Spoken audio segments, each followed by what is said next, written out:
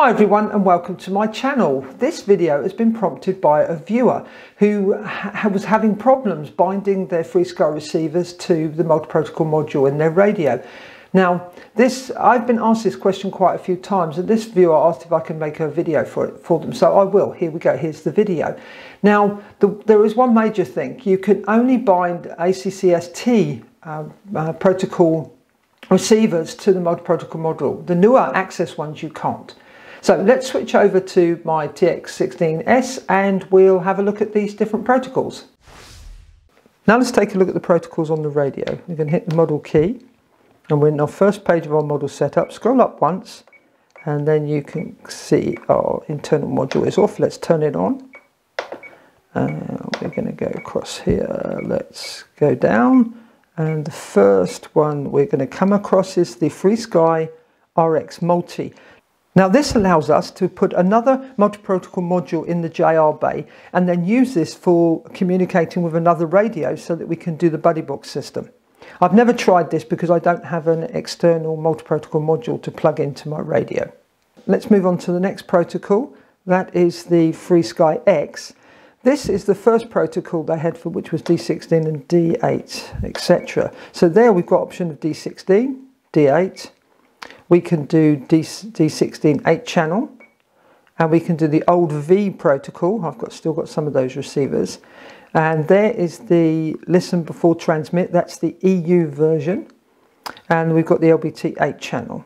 So, and then we've got cloned. Doing this allows the multi-protocol module to communicate with any receiver which was bound to the original radio without having to rebind the receivers and I've actually I've never used that uh, feature. Now that will be everything. Let's click there. We're going to go back. And we're going to go to FrSky X2 now version 2 is the uh, modification they did to the firmware because I think they said there was uh, jittering on the on the servos if I remember correctly. But you're going to come across all the same protocols that you had with the X one, the X version. Now let's go on to the next one.